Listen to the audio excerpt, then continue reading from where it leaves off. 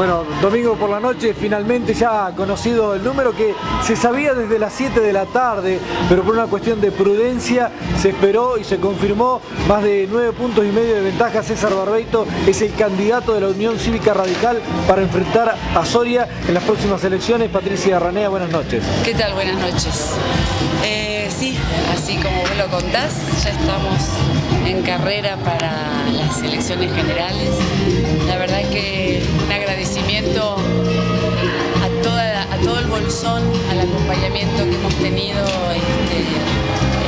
Verdad es que uno no encuentra palabras cuando llegas a momentos como este que hemos peleado durante tantos años y, por este proyecto que creemos que, que va a ser muy bueno para el Bolsón, un proyecto de inclusión, de equidad, para mejorar la calidad de vida de nuestros vecinos. Así que muy contenta,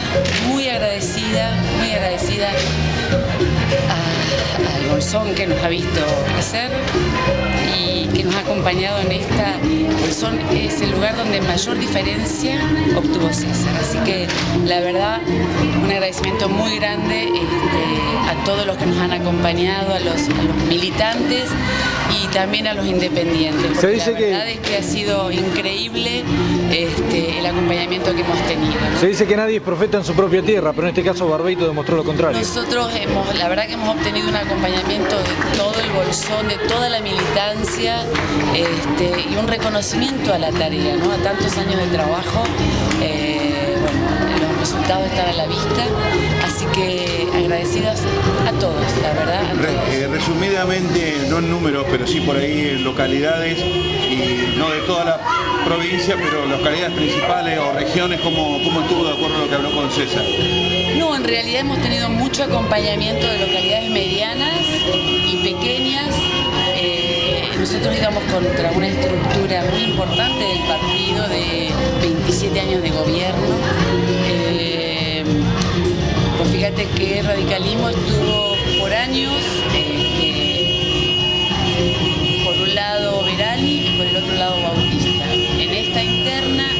y Bautista sin este, pensar en los condimentos de, otros partidos políticos, ¿no? Juntos y con un gran acompañamiento de Soria General Roca y sin embargo ganamos este, con muy buena diferencia porque sabíamos que era una tarea este, importante. ¿Qué nos queda por ahora?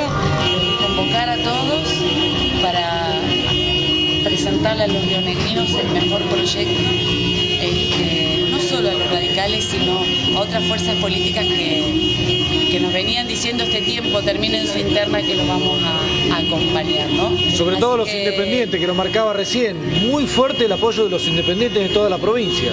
Muy fuerte el apoyo de los independientes, este, que creo que vieron en, en César este, la renovación eh, de la política, un aire nuevo,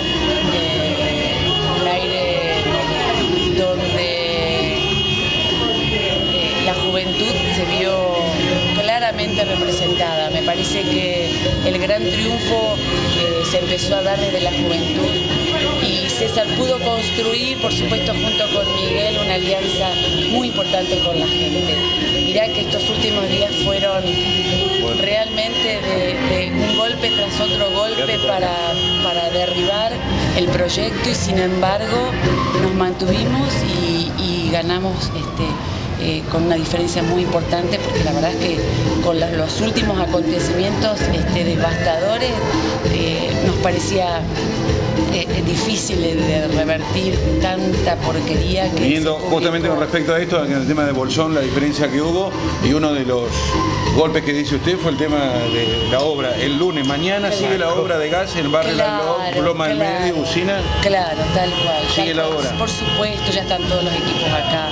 Nunca faltamos a la verdad, la verdad, nunca faltamos a la verdad. Así que, este, bueno, como acá en el resto este, de las localidades había intereses económicos fuertes, este, intentando eh, que no llegáramos. Y sin embargo, el embate más duro que nosotros creía, que sabíamos que teníamos por, por sortear después de años que en, el radicalismo no había interna, eh, lo hemos sorteado y la verdad estamos muy contentos y muy agradecidos con la comunidad del Bolsón, con nuestro pueblo, la verdad muy agradecidos y esperando que, que este, nos acompañen porque la tarea que viene es dura.